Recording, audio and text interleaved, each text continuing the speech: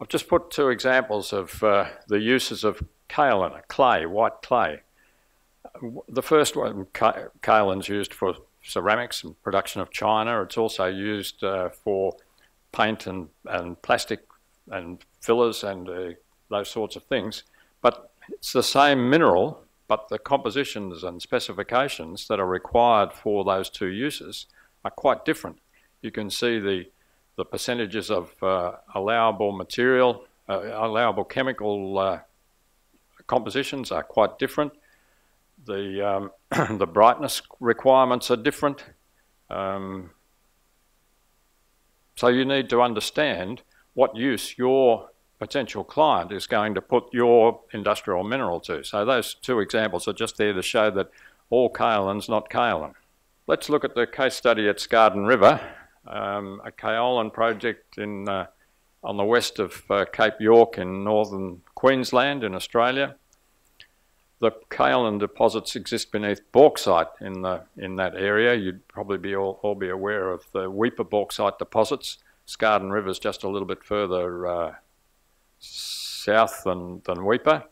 And in the, in the bauxite, in the process of producing bauxite, it also produces a clay layer underneath. And this Skardon kaolin looked pretty, attra pretty attractive. In the 1990s, a company called Australian Kaolin tried to develop the deposit but collapsed after spending $100 million building a plant. And the plant didn't, didn't work. It didn't produce a product that was saleable.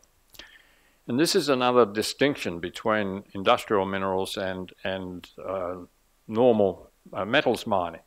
If you build, build a gold plant and it doesn't work as well as it should have, you, you designed it, and it's producing a recovery of 80% instead of 93%, you're still going to get paid for the 80% of gold you recover. If you produce an industrial minerals plant that doesn't produce something of specification, you don't get anything. There's no, there's no, oh, well, we'll take, the, we'll take that as second best. No, it doesn't meet specifications, it's not saleable. So it's really, it is that, I just mentioned that to emphasise, here's a company that spent $100 million developing a mine, building a plant. The plant didn't produce the, the material that was of a specification required. In fact, I understand that uh, that the specification that was required wasn't actually understood when the plant was built. And so the plant produced what it was supposed to produce, but it wasn't something that could be sold. So in 2001, another company called Minerals Corporation had taken over the operation and announced that it had begun uh, production at the plant. But in 2005, it uh, became clear that it had failed to meet product specifications as well, and we'll look at why in a minute. There's been several other attempts to produce kaolin. In 2012, the company was placed in administration, the assets dispersed, the tenements have been sold to a company that's interested in the bauxite that's overlying the kaolin. The kaolin's almost now forgotten. So the lesson out of that is to ensure that the product specifications and the processing route meet the market.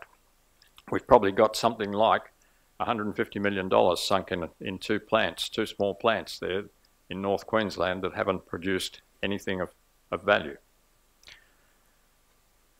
So the kaolin has to be mined, degritted, pumped, and pumped 16 kilometres through a slurry pipeline, then put through a dry plant where it is dried, bagged and shipped. And Minerals Corporation hit, uh, hit trouble at each one of those steps along the way. And the pictures are just the, the kaolin on this side and the paper which uh, was designed to be a filifor or thought to be a filifor on, the, on your right.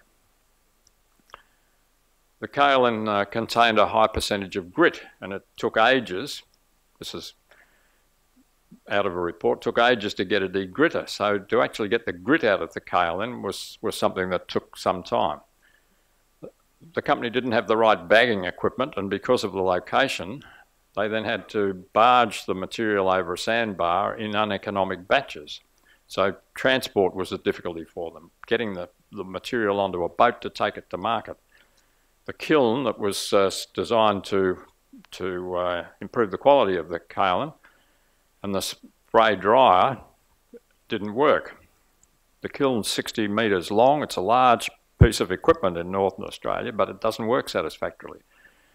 And the primary reason was that the bricks inside the kiln, this is a, a, a kiln, a heated process that heats the kaolin, they had a habit of falling into the kaolin, which meant the nice white kaolin that emerged from the end of the calciner was mixed with finely ground particles of concrete.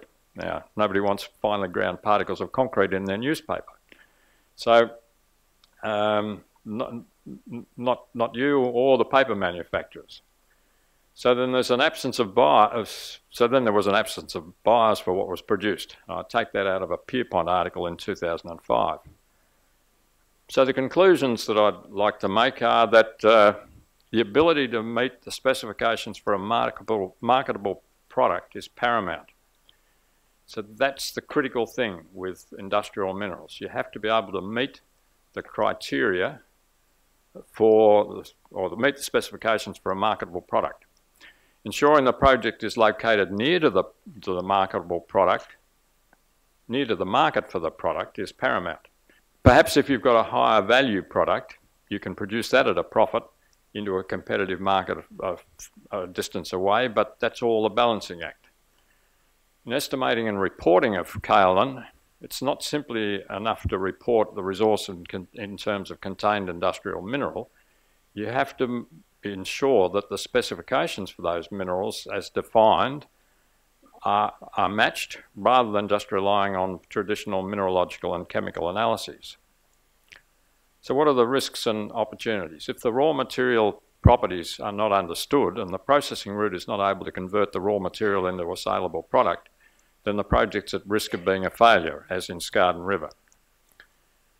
That Skardon River case shows that it's not just a matter of tweaking the plant for industrial minerals, it's generally a case of write off and start again. So the risk is significant if you get it wrong. Industrial minerals underpin industrial development. Even in poor economic swings, there's still a significant demand for industrial minerals. There's still demand for dimension stone. There's still demand for paper filler. There's still demand for paint filler. That demand is very much smoother than it is for, for base metals, so that the industrial minerals market would generally be smoother than the normal mining market. A well-run project with the ability to meet changing market conditions and specifications can provide good returns through the, through the normal economic cycle.